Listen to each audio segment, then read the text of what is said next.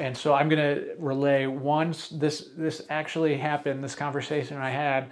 Um, um, someone called up. They're like, "Oh, I'm opening up a dispensary. Um, we're in a new state. We're coming online. You know, we're the the state is launching in a few months." I was like, "Great. We're getting to it early, um, or you know, at least early enough to you know to do a good job with it."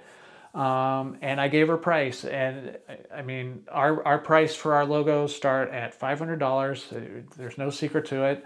Um, and um, it, it could be more depending on how much development you want to go into it or you know maybe you need a highly versatile logo that's going to have many different you know a, a full logo small it, it, there could be more but the baseline is is starting at 500 um, and, and, and, if you want a full branding, you know, obviously it's going to be more than just the logo. But um, that's a, if you know anything about market, that's a very reasonable price for a logo.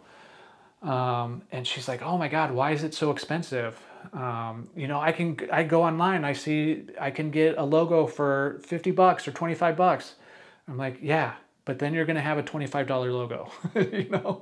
Like it like of all the things that you could be trying to cut corners on why would you cut corners on your logo?